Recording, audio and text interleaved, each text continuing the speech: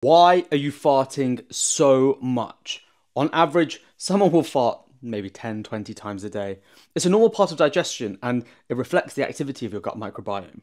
But one of the most common reasons for excessive wind is being constipated. The longer your poop stays in your poo tube, the more time it has to ferment, and this can cause particularly stinky farts. Another common reason is swallowing air. So, chewing gum, chewing or sucking on a pen lid, and smoking are some of the common culprits. High fiber foods could be harder to digest and are likely to make you trump more. And foods that contain raffinose, like Brussels sprouts, cabbage, and asparagus, can also make you more gassy.